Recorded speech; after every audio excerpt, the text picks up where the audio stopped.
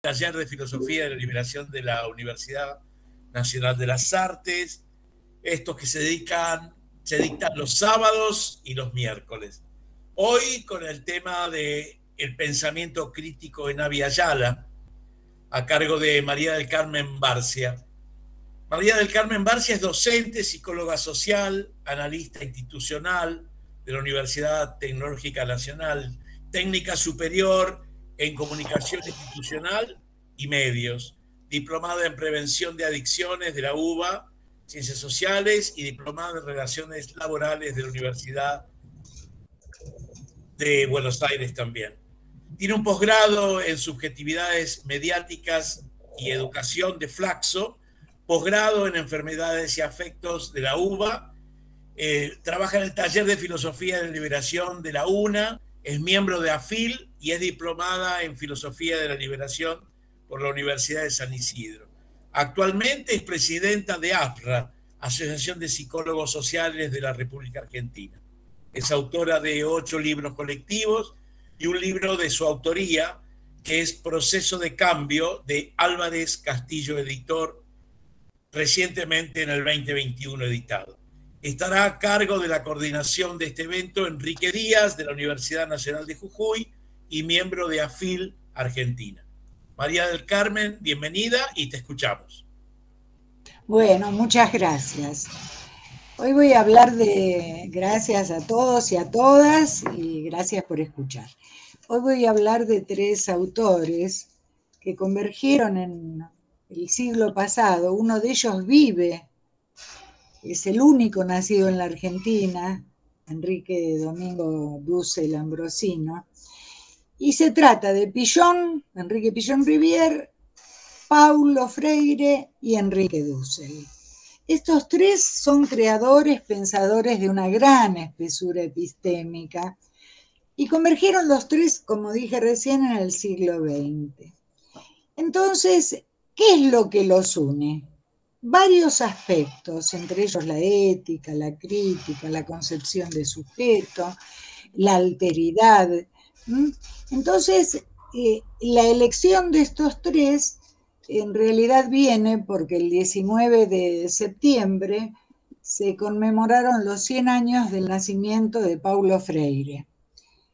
Este año festejamos los 114 años del nacimiento de Enrique Pillón Rivière, como hacemos todos los años, y eh, Dussel, que tiene 87, que es el único argentino que nació en La Paz, provincia de, Mendoza, tiene 87 años y todavía sigue escribiendo.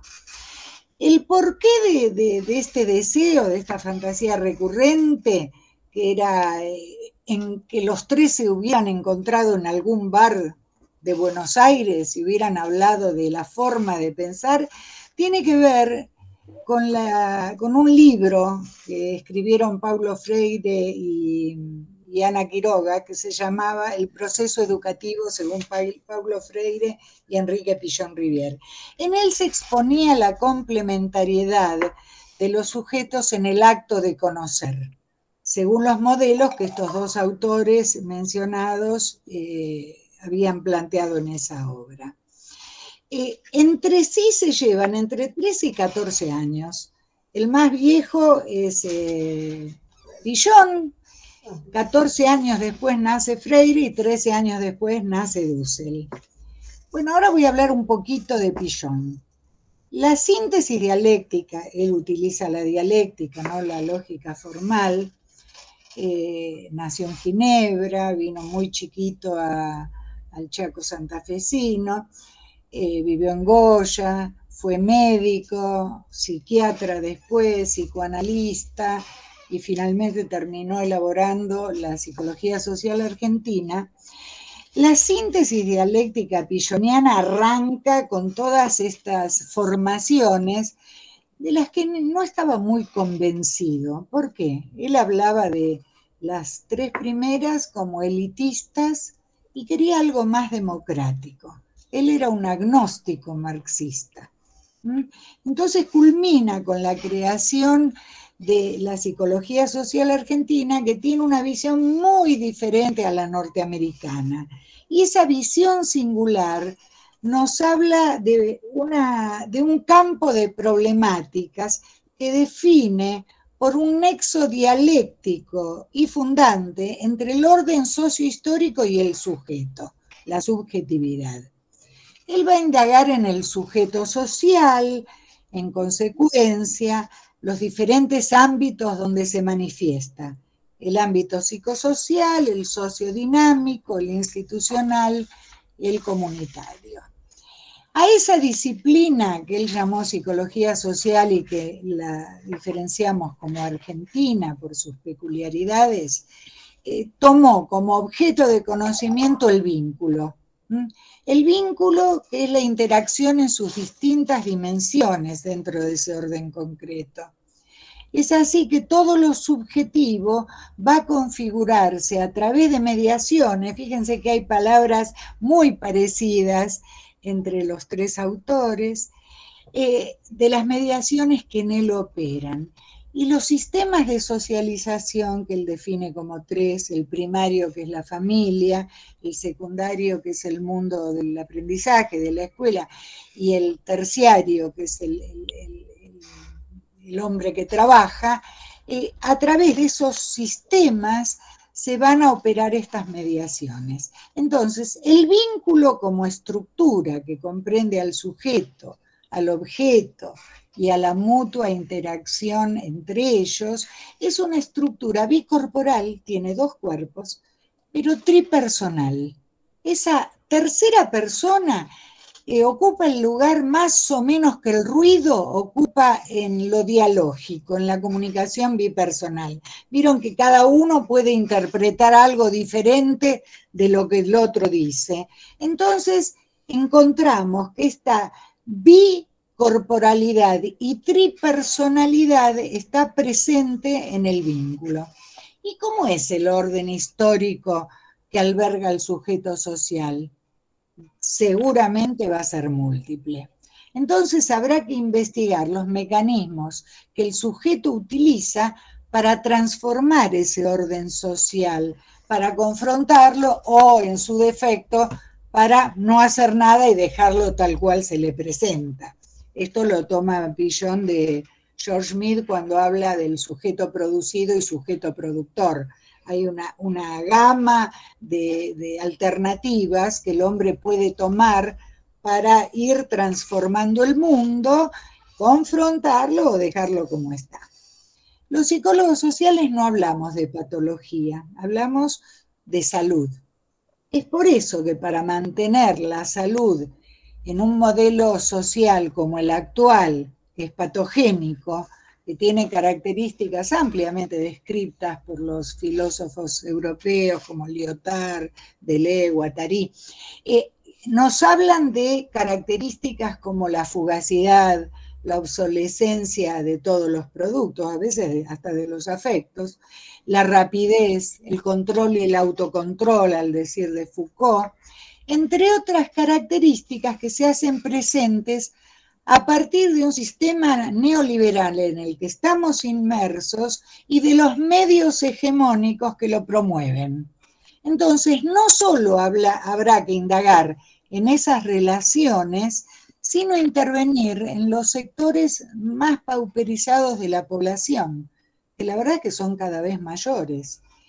Entonces, la creación de nuevas instituciones, como por ejemplo los piqueteros en los años 90, los trabajadores desocupados, las mujeres agrarias en lucha, el respeto por las diversidades de género, el respeto por los pueblos originarios, ameritarían nuevas formas de intervención y nuevos proyectos de promoción de salud pero la verdad es que con las herramientas que Pillón nos dejó, podemos abordar estos cambios, por ahí dándole una vuelta de tuerca a determinado tipo de dispositivo. El dispositivo que él creó es el grupo operativo.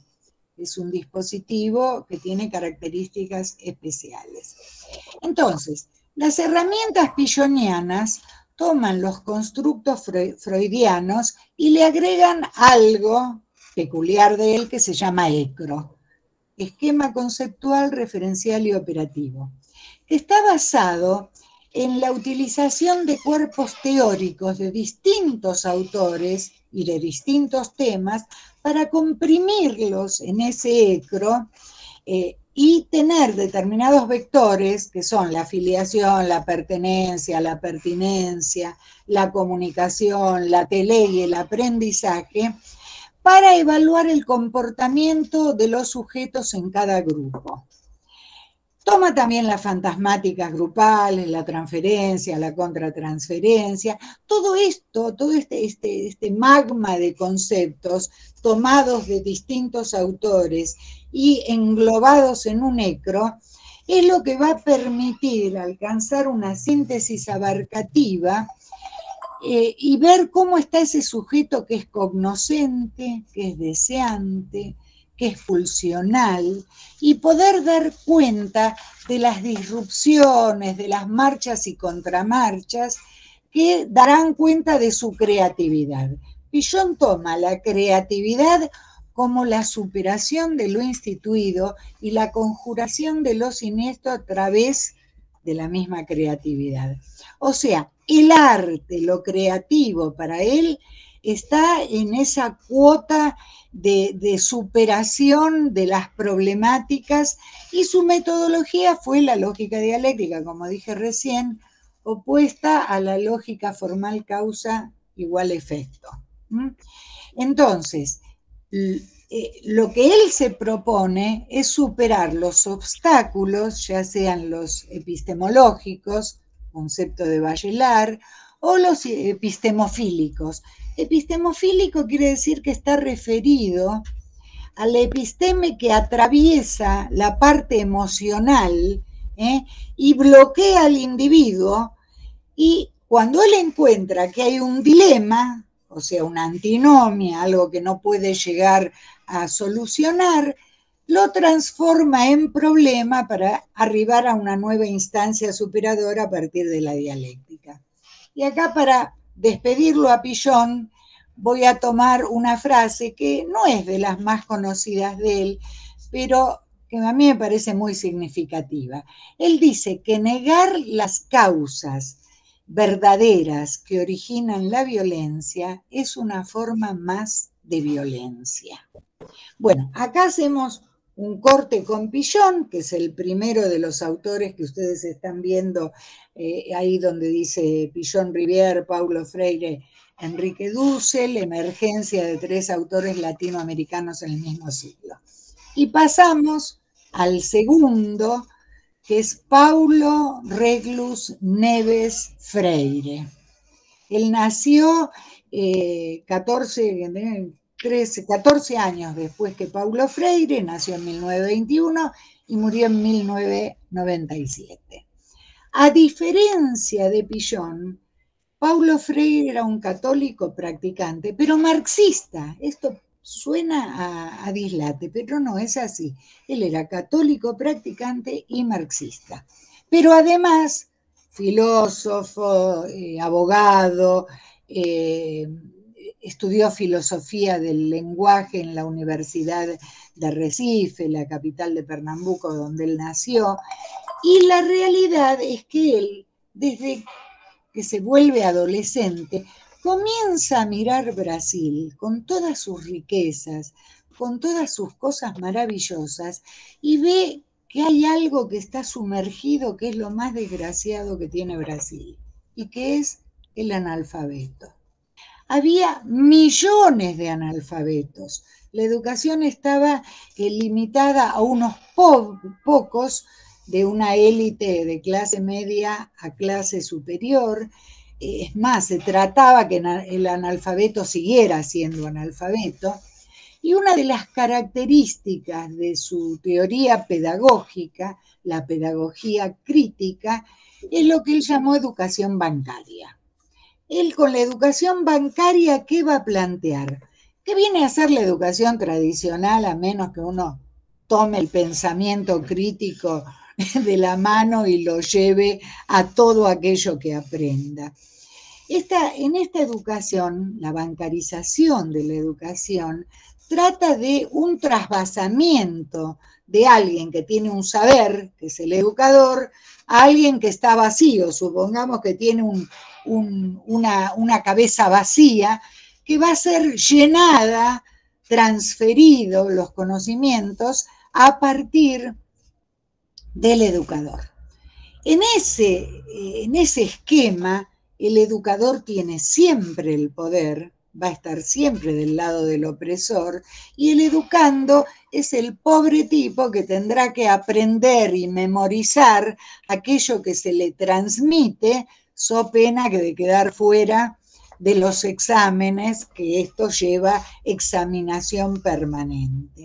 Entonces, en lugar de comunicarse, los docentes de este tipo eh, se convierten en opresores.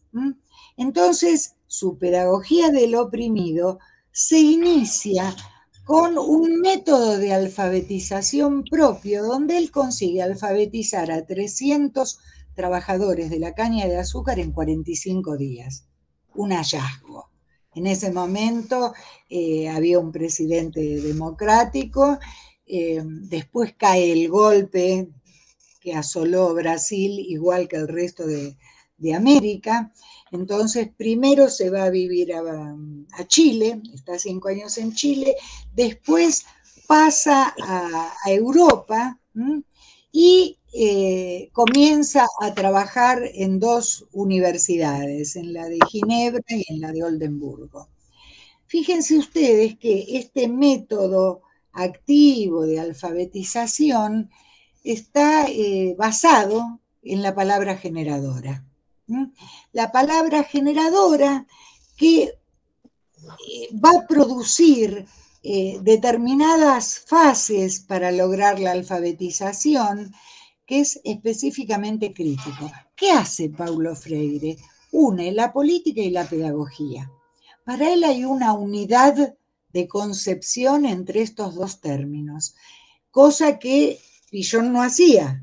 Pillón se apartaba de la política para tratar de meter en un contexto determinado todo aquello que la gente supiera. ¿Se, ¿Se va entendiendo alguna pregunta quieren hacer o, o se entiende lo que digo. Bueno, entonces, para lograr este, eh, este método, el docente debía levantar el universo vocabular del educando. ¿Qué quiere decir? Cada docente no podía universalizar el aprendizaje, tenía que ser focalizado al grupo al que iba dedicado el aprendizaje. Entonces, él seleccionaba palabras que llamaba generadoras, a partir de las cuales se iban a generar otras, conformándose qué visiones existenciales. Entonces, cada docente iba a elaborar guías que le sirvieran de auxilio eh, en el debate de los educadores dentro de su trabajo y descomponían las palabras fonéticas correspondientes a las generadoras. Todo este proceso es larguísimo de explicar, por lo tanto voy a decir solo eso, pero sí que eh, Paulo Freire eh, mediatizaba el aprendizaje a través de láminas, perdón, proyecciones o diapositivas ya estábamos en la época en que esas, eh, esas mediaciones existían. Entonces, ¿qué lograba con esto? El educando, eh, a, a, partir de ver objetivado la palabra o el hecho o la situación, pasaba de ser experimentado por los sujetos al mundo de los objetos. Entonces, ahí era que se objetivaba el, conocimiento. Entonces, el objetivo de Paulo Freire era concientizar a través del aprendizaje y politizar. Entonces, Freire plantea que su pedagogía va a ser dinámica, móvil, capaz de incluir, evolucionar y reformularse. O sea, todo esto hace que sea una verdadera praxis. También Pillón pensaba en una praxis. ¿Qué quiere decir praxis? Es diferente a la práctica. Si uno va elaborando una teoría, sobre esa teoría va implementando la marcha, o sea, haciendo la práctica, y en el momento que va haciendo la práctica ve que hay algo de la teoría que contradice la práctica, no tiene ningún problema en reformular la teoría. Por eso no se cristaliza el conocimiento, siempre tiene una dinámica inacabada, al igual que eh, inacabado es el hombre. Entonces, su primer libro, en 1967, si mal no recuerdo, es La educación como práctica de libertad. Un año después, Pedagogía del oprimido, que es su libro más conocido. Tiene cantidad de libros escritos, artículos. Bueno, y él vuelve en el año 80 a Brasil, donde ocupa una cantidad de, cargos, es funcionario y eh, ocupa el cargo de ministro de Educación de San Pablo. Muere en el año 1997. Dejo una frase de él que también es de lo menos eh, popular, digamos, pero que dice mucho.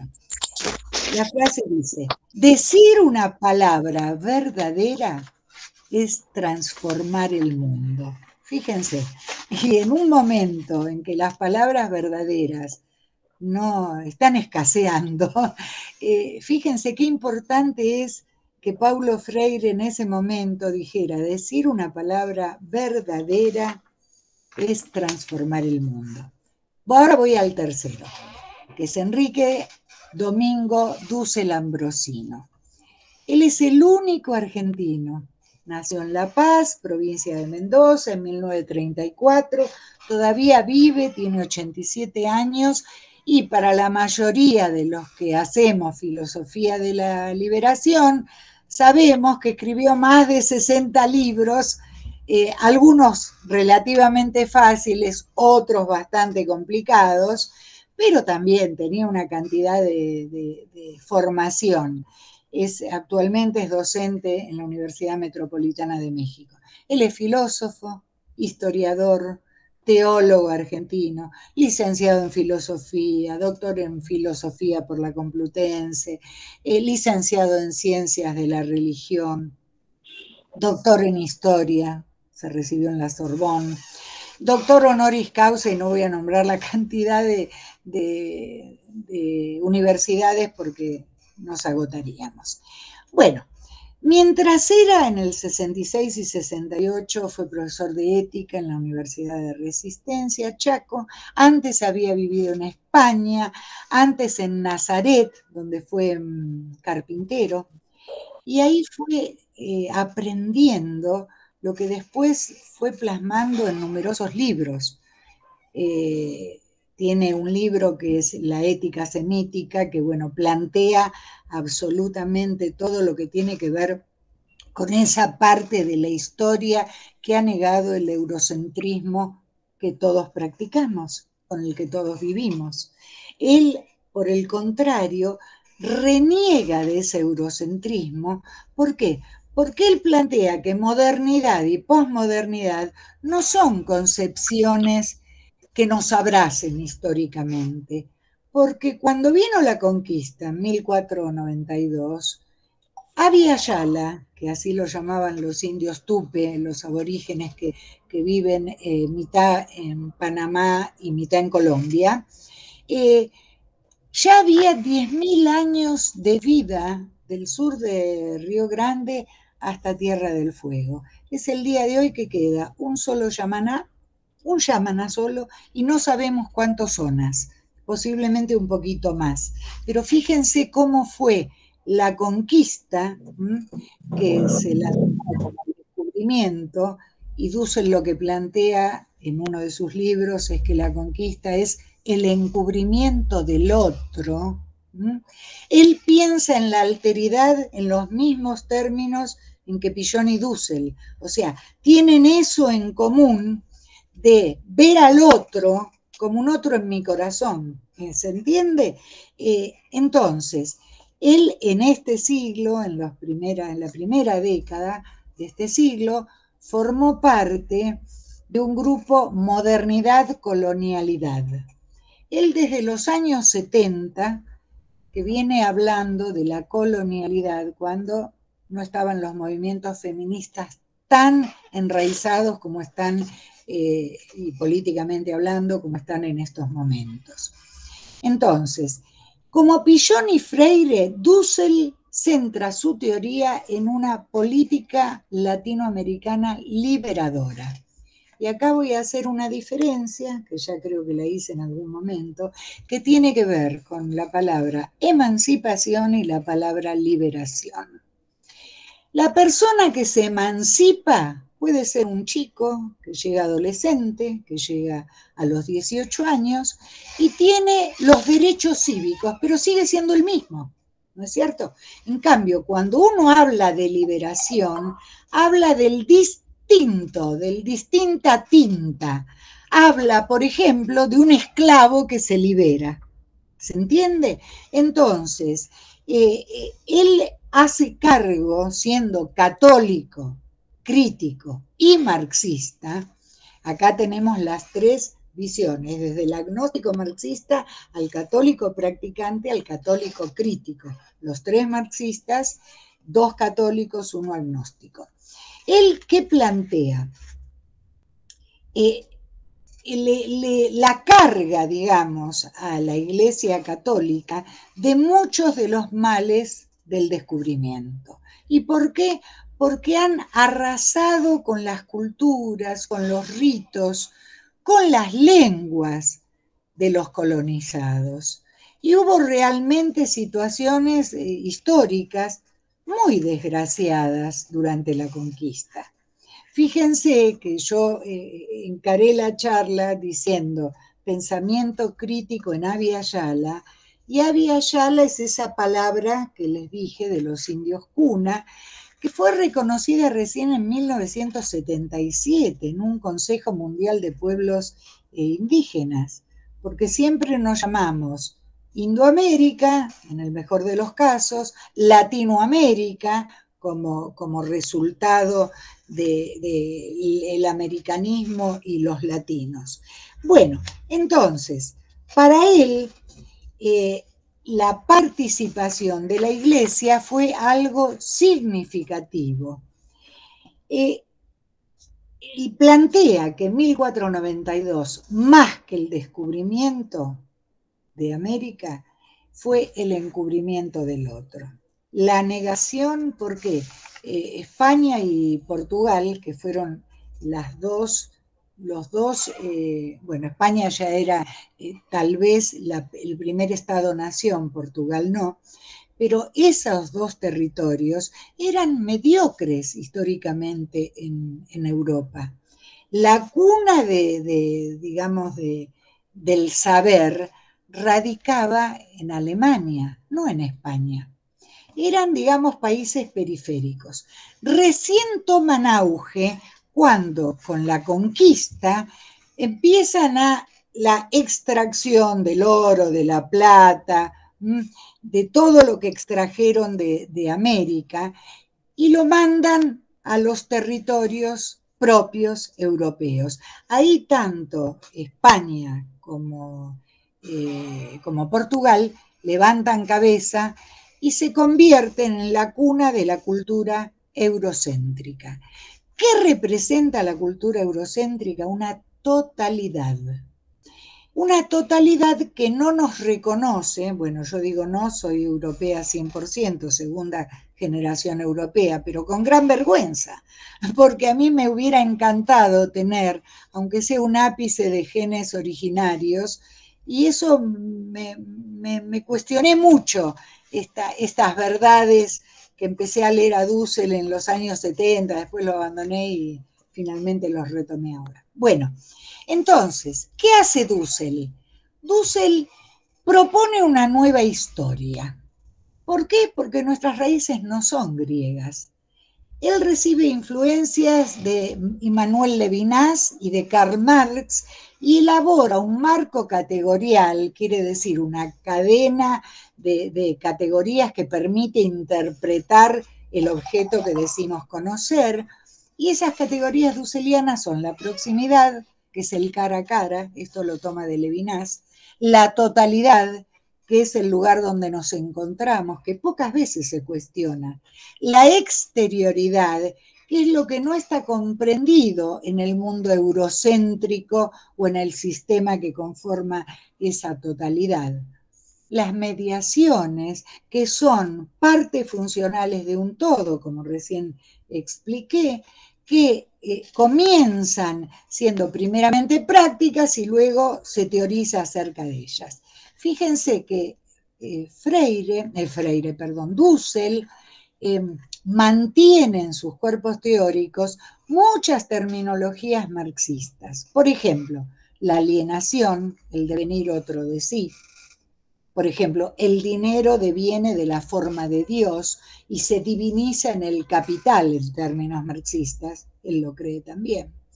Eh, la transmodernidad que, que Dussel plantea como una perspectiva teórica, metodológica y ética de, la realidad, Dussel propone la ética de la liberación como un paradigma que se parte del otro, de la alteridad.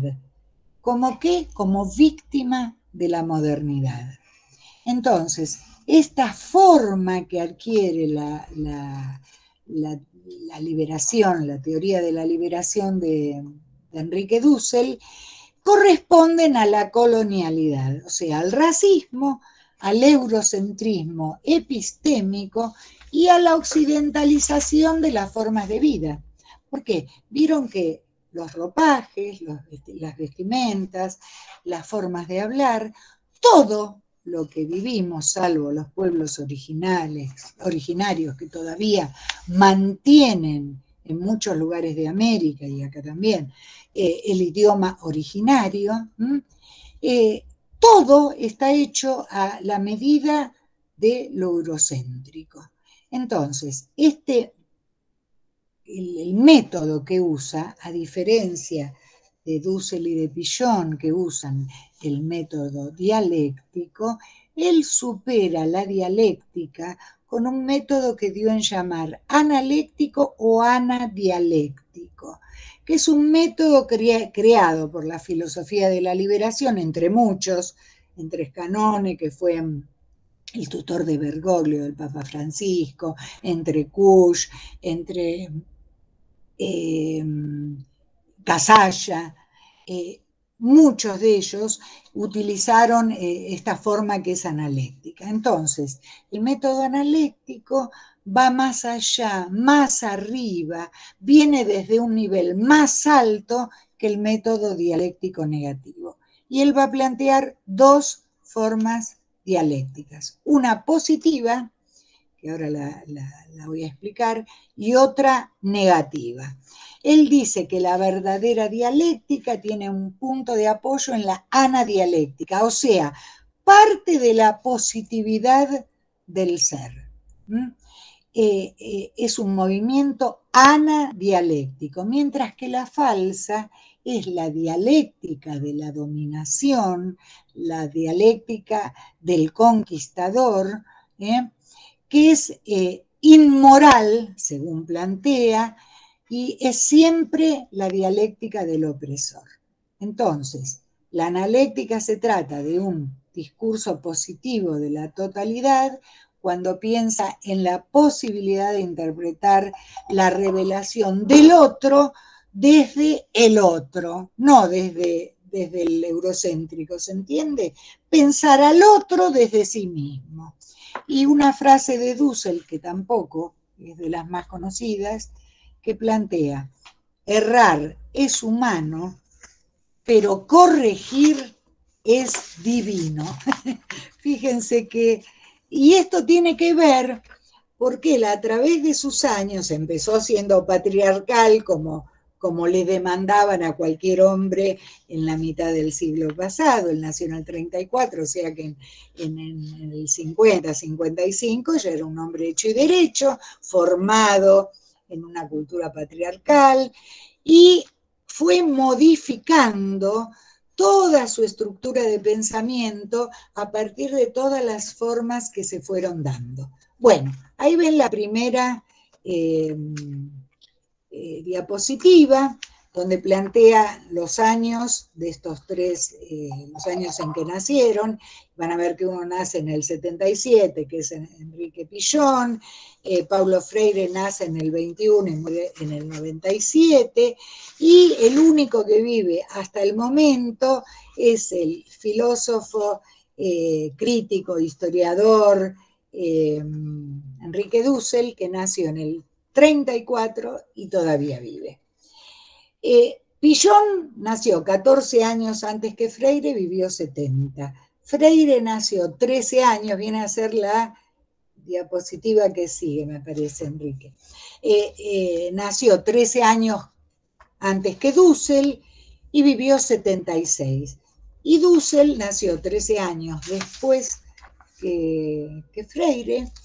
Y ahora vamos a ver qué es lo que tienen los tres en común. ¿Podés pasar a la, Enrique, la diapositiva que sigue. ¿Está Enrique?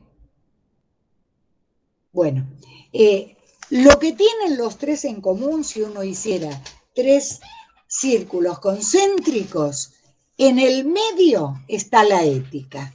Ahora bien, ¿qué tipo de sujeto, seguimos con la ética, qué tipo de ética van a plantear? Y acá hay una eh, diferencia en la ética.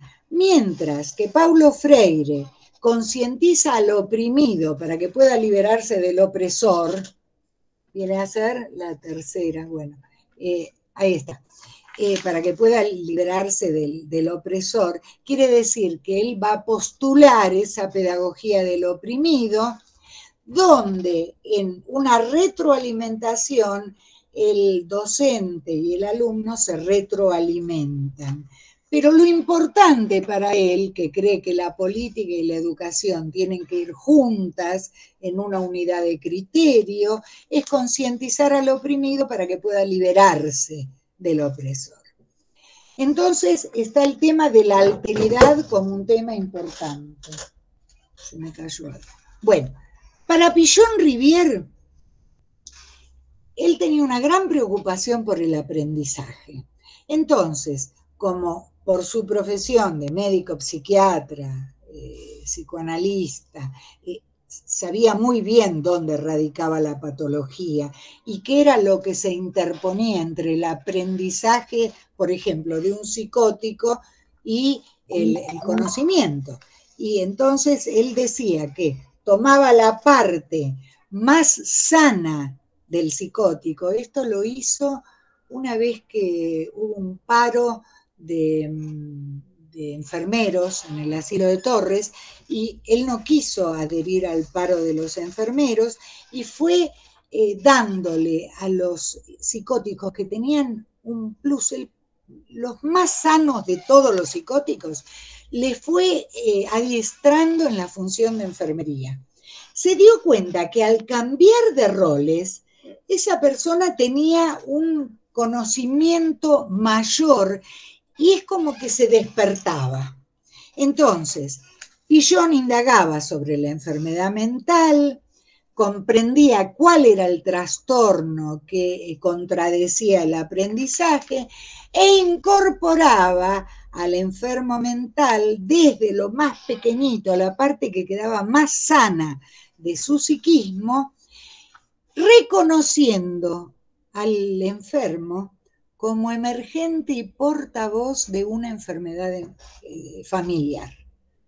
Por eso trataba de no encontrarse con los familiares, sino simplemente con el psicótico y se dedicaba a él. Él decía que la familia no reconocía como propia la enfermedad. Y en el caso de Enrique Dussel, que también creía en la alteridad, es el que más complejiza el tema de la ética. ¿Por qué? Porque él propone una ética de la vida. Entonces, reconoce al otro excluido como su proximidad en busca de que De una sociedad de pares. Fíjense que es el único de los tres que está planteando partir de la víctima, del oprimido, tomarlo como su proximidad con, el cara a cara eh, que había aprendido de Levinas, y con eso iba a lograr una sociedad de pares. Bueno, ahora vamos a ver qué tipo de sujeto acuñan los tres. Para Freire. Freire pensaba, ya les dije unas cuantas veces, que la política y la educación eran el eje de la vida del sujeto. Entonces, ¿qué planteaba? Un carácter activo del sujeto y lo tomaba como protagonista de la historia. O sea, acá tomaba al sujeto como transformador de su propia realidad a partir de qué? De la educación. Entonces, era un sujeto eh, transformador que a través de la política y la educación como eje de su sustento como sujeto social, se iba a transformar. Para Pillón, eh, él que trabajaba contra las resistencias, los prejuicios, los elementos transferenciales, para Pillón el sujeto siempre es un sujeto A, sujetado A antes al cordón umbilical de la madre, después a, la sociedad, pero siempre está sujeto a, no es un individuo, para ninguno de los tres es un individuo como marcaría el biologicismo o la sociología, por ejemplo. Entonces, sí, la biología o la sociología. Para Pillón es un sujeto social que va a ser actor y protagonista de su historia. Y para Dussel, que es el más complejo de los tres, eh, eh, él pretende que el sujeto oprimido piense desde una praxis liberadora. ¿Qué va a hacer con esto? Anticipar un hombre nuevo, de ahí la analéctica. ¿Se entiende? Va a plantear que desde la conciencia de su propia alienación y de su propia opresión, a esto lo llamaba la dialéctica de la dominación, piense en la forma de liberarse. Ahora bien, ¿cómo se va a instrumentar el conocimiento? Freire va a decir que es imposible enseñar sin aprender. Entonces, ¿qué quiere decir? Que el que tiene determinados instrumentos para brindar al otro conocimiento, lo va a hacer desde un punto de vista totalmente solidario. Él lo que describe es la solidaridad como un elemento importantísimo para poner al servicio del grupo, para que acuñe el conocimiento de sí y de la realidad, o sea, que pueda objetivar su propia realidad. Para esto, ¿qué plantea? Una gran escucha, al igual que Pillón, la, solidaridad, la praxis, igual que Pillón y que Freire, la reflexión crítica. Para Pillón hay una frase que lo define mucho que tiene que ver con el enseñaje. Él era muy amigo de hacer, de crear neologismos. Entonces, el enseñaje tiene que ver con esa combinación del enseñar y del aprender. Como que como un proceso recursivo, donde la escucha va a ser fundamental, él da más importancia a la escucha que al hablar. ¿Por qué? Porque él dice que si uno no escucha lo que el otro está diciendo, nunca va a poder alcanzar a partir de ese elemento que él creó, que es el cono invertido con los vectores, va a atravesar dialécticamente desde lo latente a lo manifiesto. Sin escucha eso es imposible. Va, uno va a estar en un grupo como si fuera un grupo, eh, como si uno fuera sordo y el grupo no, no supiera de qué se trata. Entonces, la escucha es fundamental, hace una praxis. ¿Y qué va a hacer con esta praxis? Poder ajustar el, movimiento teórico, que para él es el ECRO, el esquema conceptual, referencial y operativo, ¿eh? ¿con qué objeto?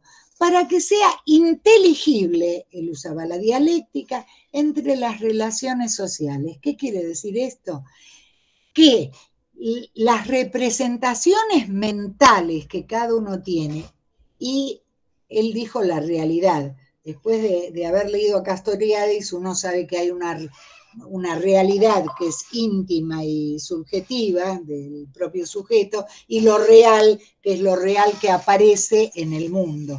Entonces lo correcto sería decir, restablecer la coincidencia entre las representaciones sociales y lo real.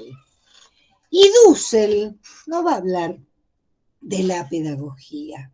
Él va a hablar de la pedagógica como una parte de la ética que va a estudiar la, dimensión educativa en todas sus, sus formas. Para él, el educar es un servicio. Entonces, ¿qué es lo más importante? La praxis, o sea, que en esa praxis va a estar dado el acercamiento a la proximidad, ese cara a cara que le sacó a Levinas. Entonces, el conocimiento se desprende de una relación ética del cara a cara que va a ser distinto a la pedagogía y se va a dar en un determinado sistema ideológico que va a ser la totalidad, que es lo que se mm, selecciona, lo, que va a transmitirse de generación en generación. Y ahora vamos eh, a dos de las, de las últimas eh, expresiones que quería comentar, que tiene que ver con qué es el pensamiento crítico. ¿A qué le llamamos pensamiento crítico? Para Freire, como ya dije, la crítica es el análisis objetivo. ¿Qué quiere decir? Uno sale de sí, ve en un hacia afuera su propia realidad ¿eh? y entonces tiene un carácter desmitificador. Desmitifica la realidad naturalizada, incuestionable, aquello que somos sin darnos siquiera cuenta que podemos pelear para hacer otra cosa. Para Pillón, ¿qué va a ser el pensamiento crítico? Un develamiento, un sacarle el velo a toda situación que se enmascara para no sufrir. Y él en, esa, en ese coro invertido, en el vértice que va quedando abajo, va a ubicar los temores, el miedo que llama miedo a la pérdida y el miedo al ataque. ¿Y estos miedos a qué obedecen? A la incorporación de nuevos conocimientos. ¿Por qué? Se me desbarata todo el sistema que yo tengo estructurado como propio. Entonces tengo miedo que lo nuevo me ataque. ¿Por qué? Porque no lo conozco. Y tengo miedo de qué? De perder. ¿Miedo a la pérdida de qué? Esas estructuras conocidas, permanentes. Vieron que hay gente que dice, ah, yo no cambio nunca de pensamiento. A mí me produce una gran tristeza, porque yo vengo cambiando de pensamiento, creo que desde que nací. Me, sentiría muy mal teniendo los mismos pensamientos con que pensaba eh, cuando era chica, por ejemplo. Entonces, este miedo al ataque y miedo a la pérdida van a estar en el vértice de ese cono invertido a través de donde pasa el pensamiento dialéctico para elaborar respuestas diferentes. Y para Dussel, el pensamiento crítico de la liberación, ¿a qué se reduce? A una crítica radical al pensamiento moderno occidental que tiene características patriarcales, eurocéntricas, totalizantes, sistémicas, universales. Él va a descreer de todo esto y entonces, para él, el pensamiento crítico de la liberación es una crítica radical al pensamiento moderno occidental. Y va a acuñar un término que es transmodernidad ¿Y a, qué le va a llamar transmodernidad? A una nueva em, civilización ecológica, por fuera de la modernidad y por supuesto de la posmodernidad, que también es europea, a mí me aportó mucho la posmodernidad, les digo, pero digamos, quiere evadirse de todo lo que sea pensamiento eurocéntrico y hacer que pensemos desde nosotros, desde, eh, desde América. Entonces, Freire utiliza la lógica dialéctica, Pillon utiliza la lógica dialéctica. ¿Y por qué? Porque la vida cotidiana no se basa en una causa y un efecto, es cambiante, contradictoria, múltiple, tiene todas las alternativas según sea el pensamiento de cada uno. Y Dussel utiliza la lógica dialéctica, la da vuelta y la llama analéctica o anadialéctica. Entonces, y acá ya creo que termino, sí. Eh, para Freire, la acción se va a hacer praxis cuando se, eh, el objeto se hace objeto de reflexión crítica. Para Pillon, como ya dije, cuando puede ajustar el modelo teórico que es el ECRO y para Dussel cuando consigue un acercamiento a la proximidad. Entonces, para Dussel va a haber dos dialécticas, una verdadera, que tiene un punto de apoyo anadialéctico, que es un discurso que va más allá de la totalidad, y una falsa dialéctica que es dominadora, que es un movimiento conquistador dialéctico. Y fíjense que sigue utilizando eh, Enrique Dussel términos que son muy marxistas. Por ejemplo, fetiche, la sacralización del objeto, la mediación necesaria para el cumplimiento práctico del sistema de dominación, la alienación que deviene el otro de sí. Yo recién les dije cómo el dinero eh, adquiere la forma de Dios y se diviniza en el capital. O sea, él utiliza mucha terminología marxista. Bueno, ya no los aburro más y les digo gracias por haber escuchado. ¿Alguna pregunta que quieran hacer? Por si hay alguno de los autores que les haya resultado extraño. No, no, no, no, no. Eh, díganme si hay alguna preguntita que quieran hacer.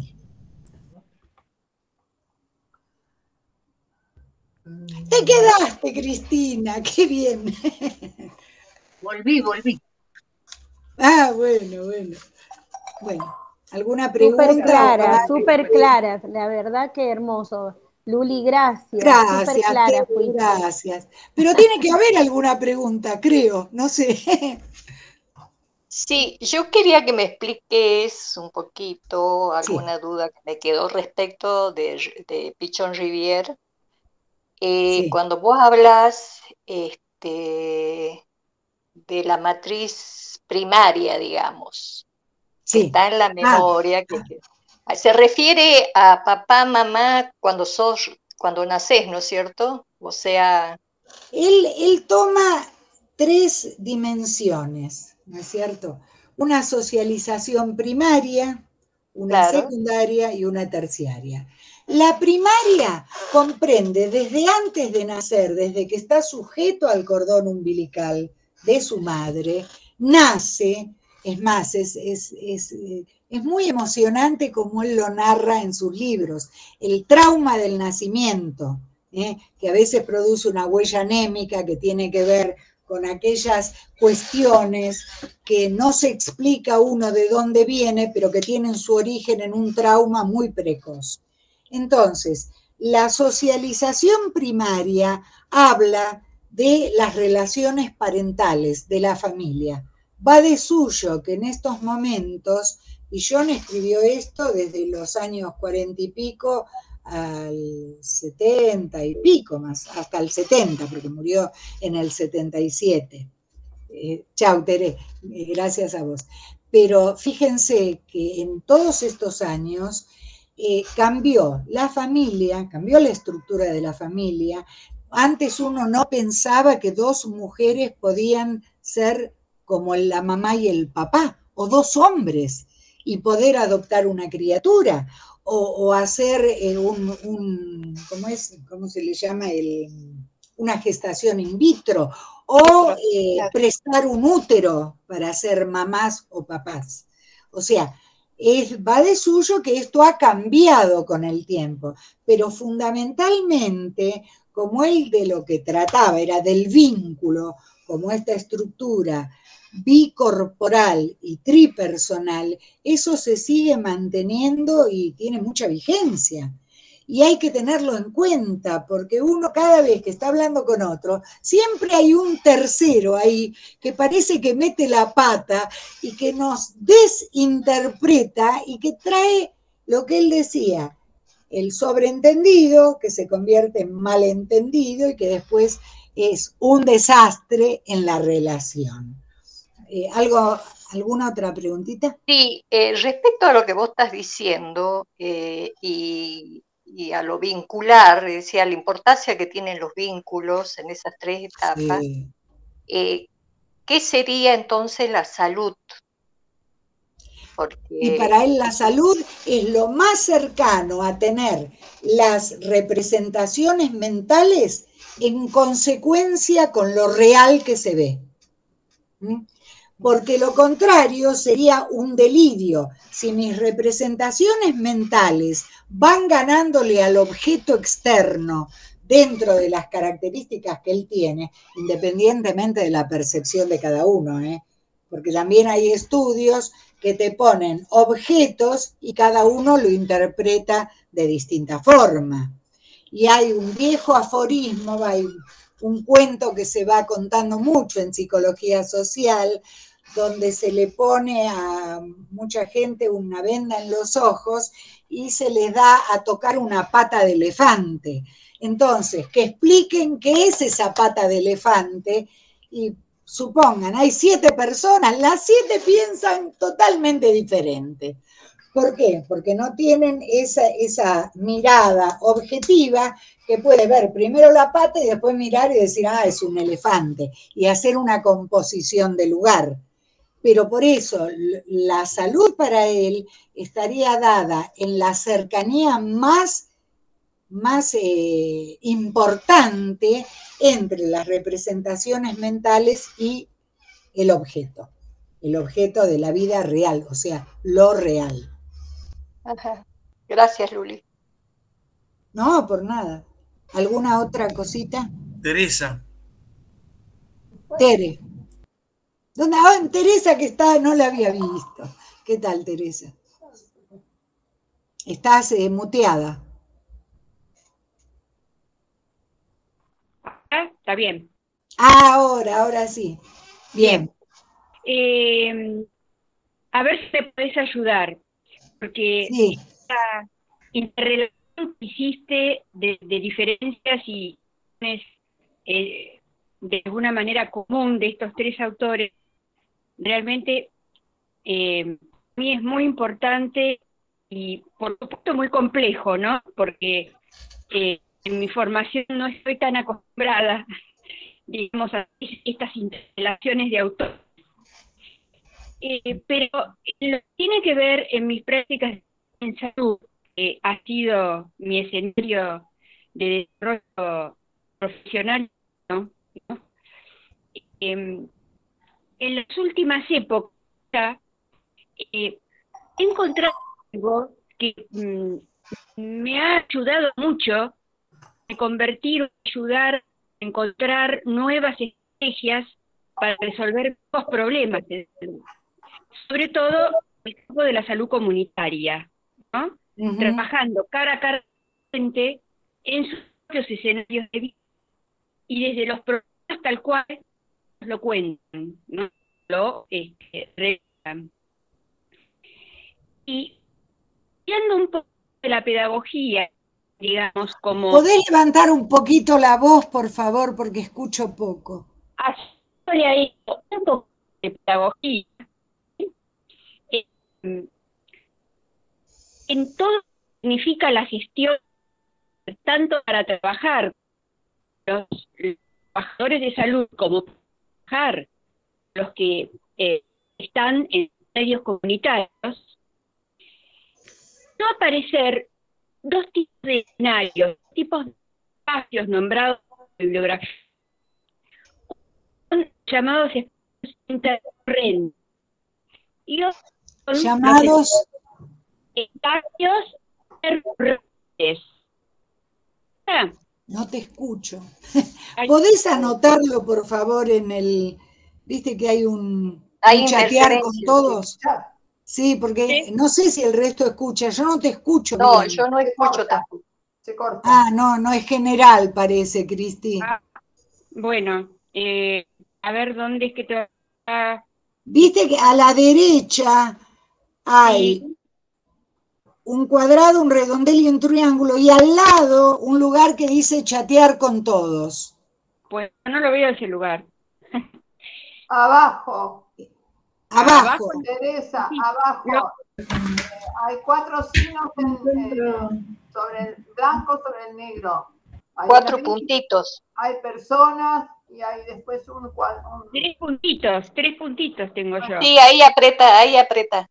Ahí, ahí apreté, pero no aparece lo del chat, que es lo que yo... No, ahí dice mensaje, mensajes de llamada, ahí tenés que. Ah, mensajes de llamada, acá lo llaman de otra manera, perdón. Ah, se escucha bien ahora. ¿Ahora me escuchan? Sí, a ver, a ver si podés hablar, porque ahora se, te escucha. Bueno, serán los tres puntitos. Eh, ah, puede ser. Decía que em, eh, trabajando con eh, un enfoque de gestión vincular, tanto para el adentro del sector salud con la gente que está trabajando, como para el afuera, con los, que se expresan desde la propia comunidad, empezaron a definirse dos escenarios que, mirados desde lo pedagógico, empezaron a dar, eh, a ser escenarios disidentes. Uno se le llaman escenarios intercurrentes, y otros que se le llaman escenarios intercesores. Y lo que, a lo que se aspira es que el intercesor es un escenario superador porque plantea la escucha, el diálogo, muchos de los elementos que vos estuviste nombrando de estos autores, ¿sí? Eh, de una manera horizontal con respecto a con quienes estamos trabajando, ¿sí? Me acabas de enseñar algo porque yo esos dos términos no los escuché jamás. Bueno, es una cuestión de jergas también, por eso eh, a mí también me cuesta trabajo ir tomando lo que, no lo que vos decís, sino lo que, bueno, gente que viene desde, desde otros campos del saber eh, va aportando y desde ahí es donde, donde uno aprende cosas que nunca encontró en el propio, digamos, ¿no? Mm. Eh, pero la, la intercesión se refiere a trabajar con el otro reconociéndole un lugar protagónico, reconociéndole la capacidad no solamente de que nos dé datos y nos informe qué es lo que le pasa, sino que pueda ayudar a, eh, digamos, acordar una prioridad de estrategia para eh, intentar este, resolver una parte o el problema que se había presentado. Entonces te traigo esto para ver si eh, estos autores pueden darme un poco más de luz en esto, digamos, ¿no? Eh, eh, porque esas, dos palabras. ¿Cómo? Te, cuento, te, hago una pregunta yo ahora a vos porque estoy aprendiendo de vos. Estos, estas dos, estos dos términos, vos los estás utilizando en, en comunidad. En comunidad, en trabajo comunitario en campo, ¿sí?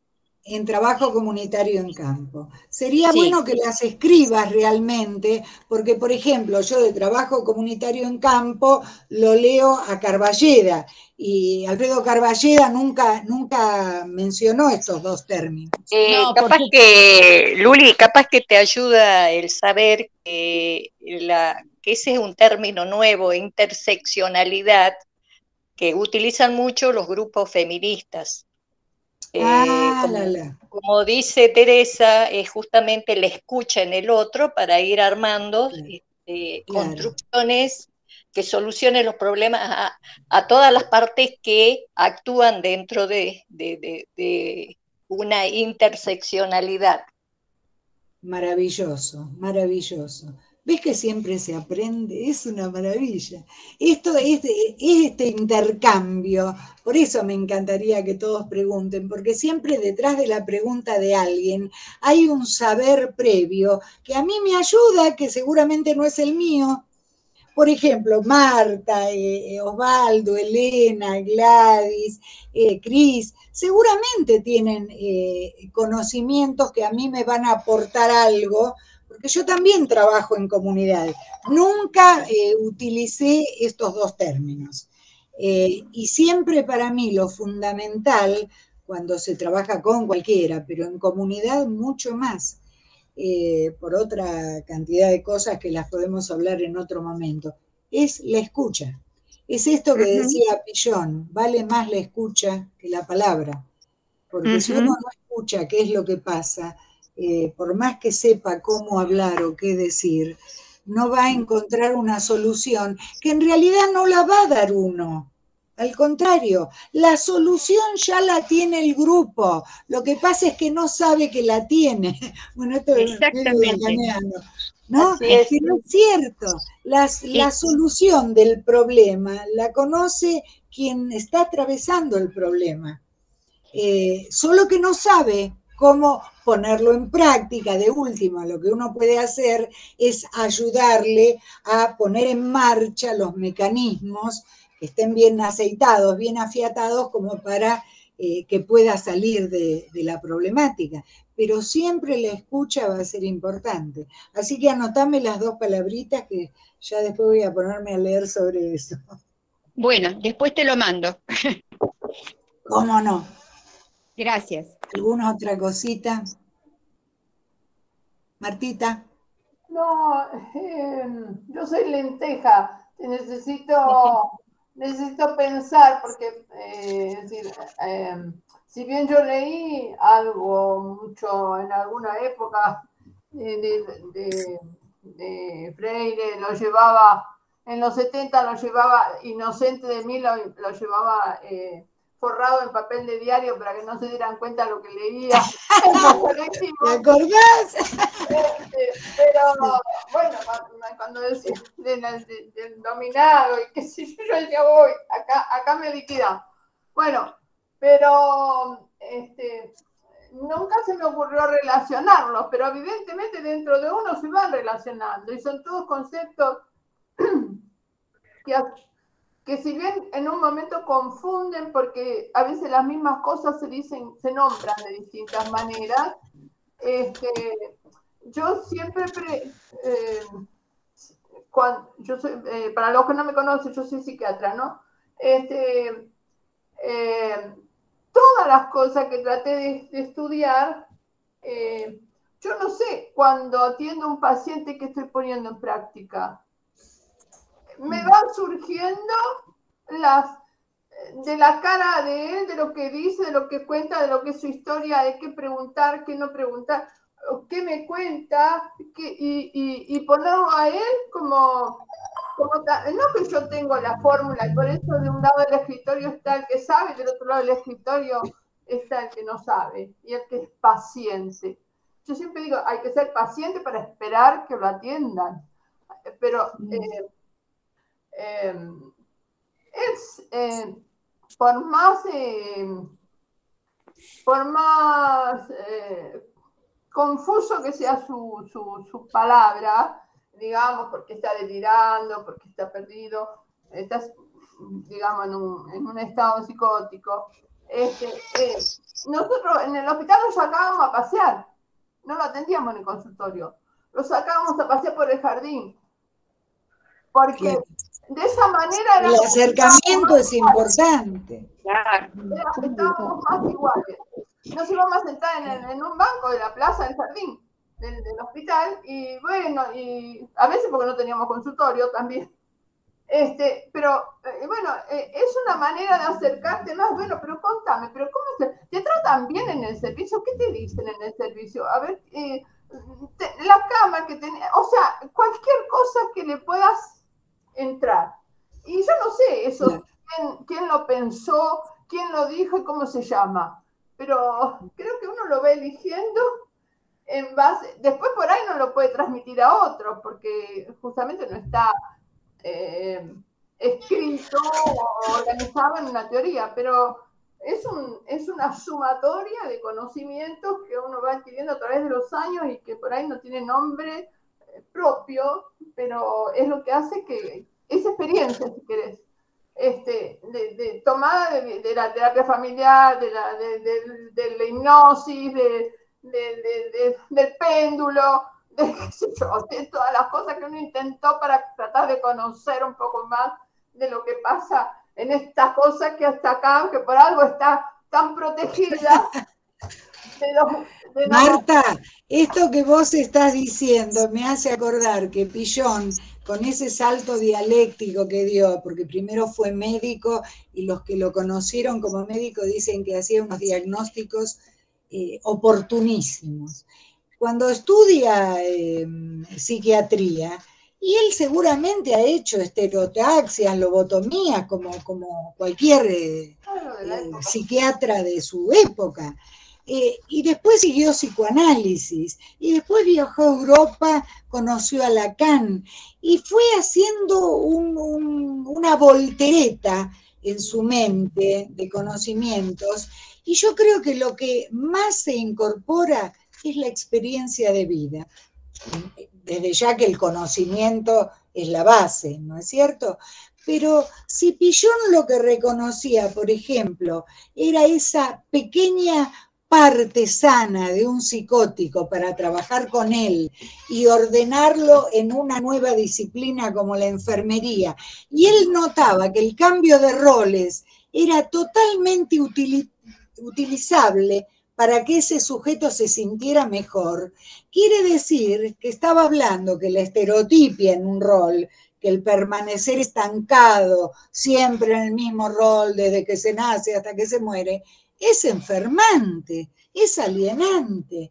Entonces, esta posibilidad de modificar a partir de la personalidad, porque hay gente que no modifica nada, y es cierto, y es profesional, y uno dice, ¿qué hace este acá en, este lugar? ¿No es cierto? Nos ha pasado a todos eso. Bueno, vos, Osvaldo, y vos, Elena, ¿alguna pregunta que quieran hacer? Algo que me haya quedado claro. Sí. Una cosa, eh, Luli, bueno, muchas gracias por la posición, eh, muy, muy buena, muy, muy ilustrativa y nos aporta muchísimos conocimientos y herramientas, sobre todo para, para manejarnos en lo que estudiamos. Gracias. Me parece que está muy buena la idea de, tratar de homologar a, los grandes teóricos este, que, nos, que nos dictan las directrices de nuestro cerebro en esta época de liberación que nos tocó vivir, por suerte, ¿no? Justamente en coincidencia con lo que se viene tratando, ¿no? Este, por ejemplo, si uno toma, pienso sobre todo en Freire, ¿no? Si uno toma la, máxima esa evangélica que la, verdad te hace libre, ¿no? El mismo, Al mismo tiempo que esa palabra de la, de la alfabetización y la toma de conciencia socio, socio esclava de, ese campesino eh, brasileño, eh, ese punto de iluminación, fíjate qué, tema que está relacionado con todo, ¿no? incluso hasta con el budismo, ¿no? esa iluminación que se recibe por la palabra, eh, ¿cómo te puedo decir? Como, como una mediación de, de catapultar un montón de potencias humanas que estaban este, como, como en la caverna justamente de Platón, estaban escondidas sí, esperando el momento de su explosión, es decir, de su acceso a la conciencia. Ahí ya tenemos una liberación. Es maravilloso. A mí fue lo que me explotó la cabeza cuando tenía 20 años. Y eso me dio, en mi caso, me abrió el camino no solo hacia la militancia, sino hacia este tipo de, búsqueda de este conocimiento. Después seguí con Arturo Pauli, pero eso, eso es un poco mi, viaje, ¿no? Digamos. Y justamente eh, los otros autores van por el mismo camino, es decir, por ejemplo, todo lo que vamos viendo con ¿no? En, sus, en, su, en su explicación de la totalidad, luego la exterioridad, cómo la exterioridad, exterioridad irrumpe en la totalidad para modificarla. A mí me parece que esos, esos anagramas, esos organigramas, esas estructuras de cuadro que, primero parecen ininteligibles, luego te, luego te ayudan muchísimo a entender cómo el, el oprimido, que es el sujeto de todo el discurso, puede en grupo, digamos, sobre todo, darle la vuelta, porque esa, esa exterioridad está compuesta de muchas clases de víctimas, de muchas clases de, mujeres, de pobres, de desclasados, de lumpen, incluso eh, categorías que estaban despreciadas por otros, otros grupos que luchaban por liberación, grupos marxistas, por ejemplo, que desprecian, o sea, el, texto dogmático desprecia al lumpen, por ejemplo, ¿no? En cambio, en, el caso de Dussel los integra en esa exterioridad que nos va a liberar. Bueno, em, en este momento, en ese punto donde se, toma conciencia, ya hay un salto de liberación, que es lo más grande de todos. Por eso decía, la verdad nos hace libres, ¿no? O sea, nosotros... Totalmente, totalmente. sí, sí. Este, encarnar... Él tenía una gran sensibilidad, porque nació en, Pernambuco, en Recife, yo estuve ahí. Es una de las... Era, por la época yo fui, creo que la época que estuvo Color de Melo de presidente. Era una de las zonas más paupérrimas de Brasil. Sí. Totalmente paupérrima. Bueno, tenía sus, sus, edificios eh, de lujo, todo lo que vos quieras. Pero la gente, la masa popular, todavía era totalmente acostada y despreciada. Y eso que Brasil tiene una ventaja por sobre la Argentina, que a mí me parece maravillosa, Brasil integró mucho al negro. Acá directamente no se lo, no se lo dejó existir. Brasil está lleno de gente negra que está totalmente aceptada como el otro en mi corazón, con esa característica del cara a cara de la que habla Dussel. Eh, y, no se lo mira de reojo, no se lo ofende. Y acá hay una gran, eh, un, gran déficit social en la mayoría blanca que mira, a mí me daba vergüenza no tener eh, genes autóctonos, pero la mayoría de la gente pensaba lo opuesto.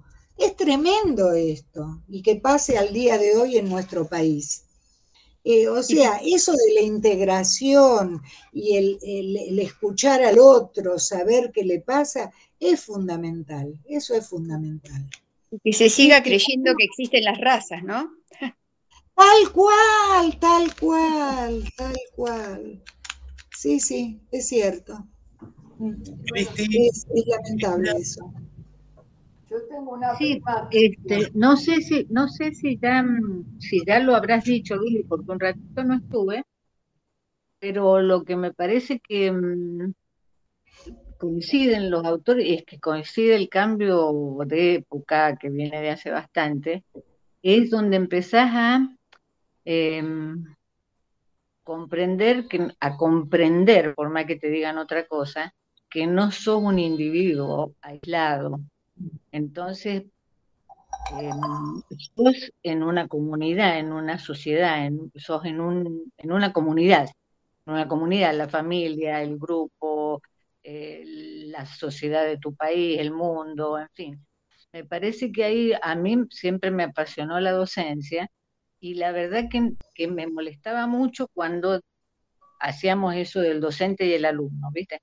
porque la verdad que no, no hay, no, nunca me sentí docente como me querían pintar que era, y eso que tuve excelentes profesores de didáctica, etcétera, y me contaban y no me contaban, este, yo estaba segura que yo iba a eh, facilitar el acceso a ciertas cosas y a habilitar la pregunta y la duda esa era mi única función como docente, no, no había otra, yo no, todo lo que yo podía decir. Es maravilloso lo que estás diciendo, ¿eh? es maravilloso. Realmente es esa la función del docente, habilitar la duda. Lo que yo podía hacer y decir estaba mejor hecho y mejor dicho en otros lados. Entonces, si no, si yo iba a ser una repetidora de, contenido, que lo, lo podía hacer, porque preparar la clase, bueno, pero no, no hubiera hecho nunca eso. Inclusive cada vez que decía algo, aún a los más chiquititos, porque me tocó primaria, secundaria y facultad, este, les decía, ¿por qué? Me daba, yo firmaba algo, ponele. Entonces les preguntaba, ¿por qué? Me miraban, ¿viste? Bueno, no me crean, piensen, hablemos. ¿Por qué les digo? ¿Por qué por dos puntos pasa una única recta? ¿Quién dijo? ¿Por qué? Porque lo digo yo, no me crean, pregunten. Pregunten por qué, eh, pregúntenme y, miles de veces llegamos a decir, bueno, yo tampoco lo sé, por supuesto, vamos a averiguarlo para la próxima. Entonces, siempre me sentí solamente una facilitadora de accesos a ciertas cosas que yo había tenido la fortuna de, nacer en un lugar definido por la injusticia del mundo y tenía acceso a ciertas cosas, y, eh, y habilitar la pregunta, el derecho a preguntar y a, y a tener tu, tu criterio y tu forma de encontrar con otros lo más cercano a lo que te parezca que es verdadero. Y verdadero, verdadero, no vamos a contar nada, pero bueno.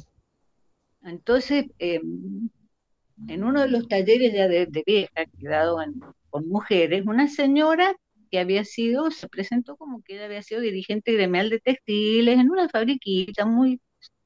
Y eran todos, éramos todos intitulados, ¿viste? Entonces se, se ve que se sentía un poquito... Y la escucho, que, inhibida, y la escucho que lo primero que dice es, a mí no me gusta estudiar. Nada, quedó ahí, pero en mi cerebro quedó eso. Entonces tuvimos la charla, que era una charla en realidad, estábamos todos ahí, mirábamos fotos, charlábamos. Luego, cuando hicimos el, break famoso, paramos un cacho para tomar un mate, me acerco y le digo, escúchame, eh, Mara, eh, te voy a traer unos apuntecitos de un librito que me cayó el otro día en internet en las manos, te voy a imprimir unas que se llama El Maestro Ignorante. Ah, bueno, dice, pero es que, bueno, no, le digo, si tenés ganas lo lees, dice. La próxima sesión, la próxima semana, se me acerca y me dice, lo compré al librito. Ah, le digo, qué bueno, yo no lo he leído. Uy, Marta, he leído partecitas, qué bueno, qué sé yo. Bárbara. O sea, me sentí tan feliz. Para mí ese taller, se, digamos, se me cumplió ahí. Seguimos, seguimos el taller, seguimos y fue todo muy lindo. Pero quiero decir, el, eh, hay pequeños gestos que, que uno se, que, te salen solo. Si vos te ubicás en el lugar de que no, no estás jerarquizando las cosas, o sea, estás, estás eh, jerarquizando en cuanto a vos tenés el conocimiento y el otro el que está esperando en cuanto a que este le gusta y al otro no le gusta y que podés, se, puede ir creciendo, se puede ir creciendo todos juntos. Entonces, bueno, eh, me parece que, que, estos autores están inscriptos en, esta, en este fenómeno. Sí. Los tres, ¿eh? Que nos pasa a todos, que nos, que nos pasó y nos pasa a todos. Los tres. eso, nomás, perdón. A mí me parece que el. Perdón. No, me extendí mucho. No. no, no, no, te quería decir que a mí me parece que estos tres autores que tienen una espesura epistémica increíble, eh, que nacieron los tres el siglo pasado, que se llevan 13 y 14 años, y que uno de ellos vive y sigue dando el ejemplo, y es nuestro, nuestro docente estrella, por decirlo de alguna manera, con 60 libros escritos, que se va renovando, que va pensando otra cosa y no tiene problema en que un libro diga lo mismo del 70 ahora o que vaya cambiando sobre la marcha en la medida en que lo piensa diferente. A mí eso me parece de una eh, riqueza increíble. Bueno, ya estamos, eh, Daniel. ¿Alguien quiere alguna pregunta? Marta quería hablar. Marta. Eh, simplemente yo quería decir que yo me acordaba de los talleres que se hacían, creo que en el hospital, por, esto de las enseñanzas, ¿no? De las formas de enseñar o de acceder a, que alguien salga de, una postura determinada de, paciente o de escuchante nada más, este, desde la consulta, ¿no? Este, había unos talleres, creo que eran en el Pirobano, en los 70 y pico, eh, antes, ah, creo que fue, no, en los 80, porque creo que fue cuando el turco mandó al, nos mandó a todos. Sí, lo manejaba Felisa Flixman y el hombre psiquiatra que estaba, no me acuerdo para nada cómo se llamaba. No me acuerdo. Sí, Felisa sí, porque era compañera nuestra. que hacían talleres para, para gente que buscaba trabajo, para esto, para Había talleres de tejido, me acuerdo.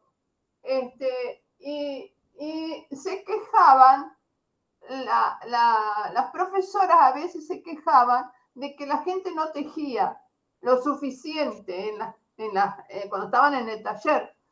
Y entonces el responsable, que no me acuerdo cómo se llamaba, este que,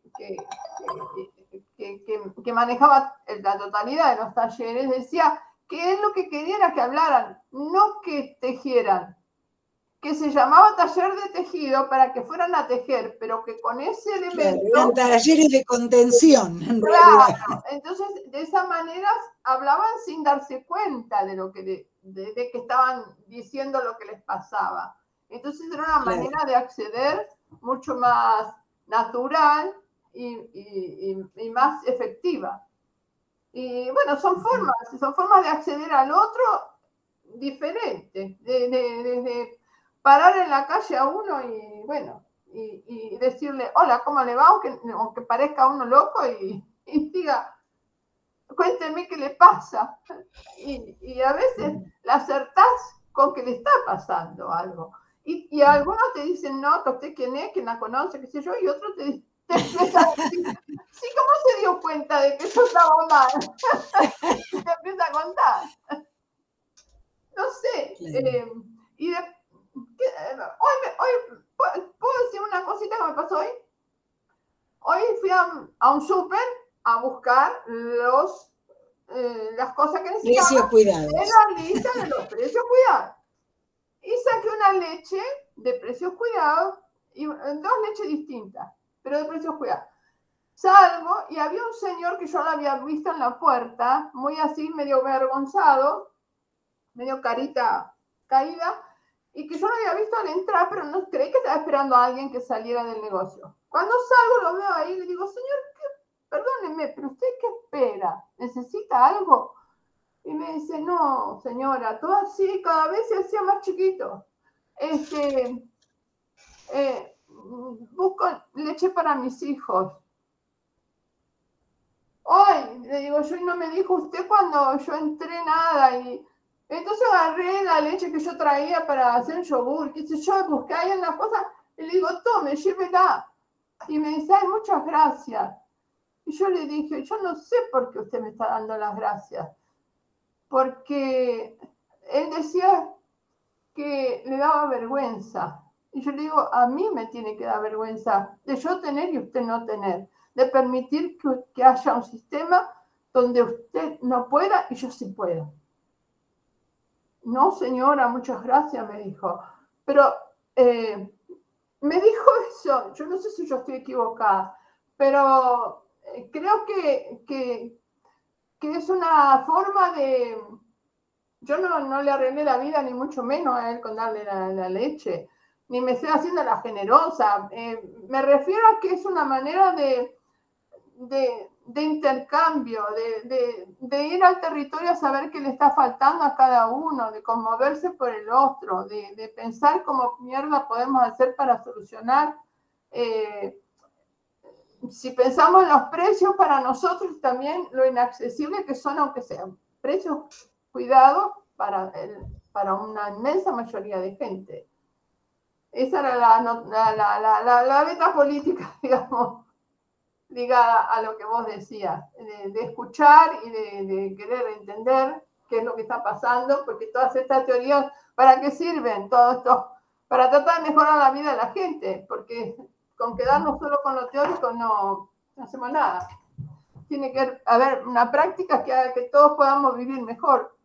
Este, bueno, no sé si llegaremos. Estamos muy lejos.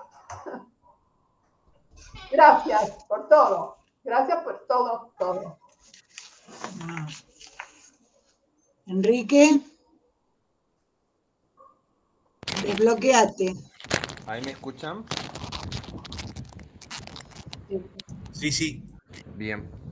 Eh, bueno, qué, qué, qué, buena anécdota la de Marta, ¿no? Porque verdaderamente ahí se plasma mucho la teoría de, Enrique Dussel de la cuestión de la alteridad y cómo esa voz interpelante nos tiene que llevar a actuar en pos de una sociedad, ¿no? Eh, así que bueno, así que pese a que nos falte, estamos en camino. Bueno, María, una excelente exposición. La verdad, en lo personal te, agradezco mucho. ¿No les aburrió? No, no, no, no, muy al contrario. Has traído, has traído en tiempo presente la voz de tres autores que creo que por mucho tiempo debemos seguir trabajando, debemos seguir llevando a la vida concreta y a las instituciones donde nosotros estamos, ¿no? Porque si bien ellos han escrito mucho, ¿no? Sobre toda la realidad latinoamericana eh, para poder llevar en pos de un buen o de un mejor futuro, lo cierto es que todavía falta aplicar, ¿no? Qué diferente sería la sociedad si nosotros aplicaríamos todas estas teorías eh, y que no queden, que no queden como, como un horizonte utópico, ¿no? Eh, así que bueno, no, no, excelente la, excelente lo que compartiste, María, y la, postura de estos tres autores, así que muchas gracias. Y bueno, si no hay... gracias a ustedes. Si no hay ninguna otra intervención, eh, estaríamos ya cerrando la grabación del conversatorio del día de hoy. Ahí luego Daniel ya va a colgar la grabación de la sesión más tarde en el canal de YouTube para que esté todo disponible y bueno, para compartirlo, ¿no? Con todos aquellos que lo pidan. Seguro, Henry. Bueno, chicos, muchas gracias a todos.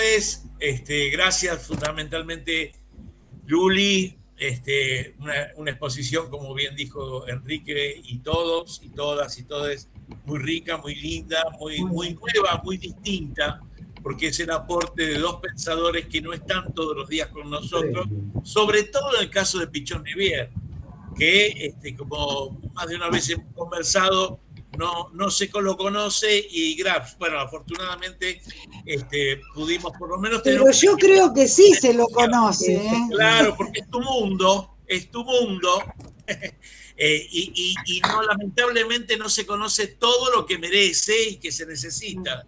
Eh, me parece que esto ayuda y por lo menos esto fue más que un enunciado. perdón, hace poco en, en la facultad se veía solamente en un cuatrimestre. Ahora se ve Pillón en el, creo que en segundo o tercer año de psicología durante todo el año.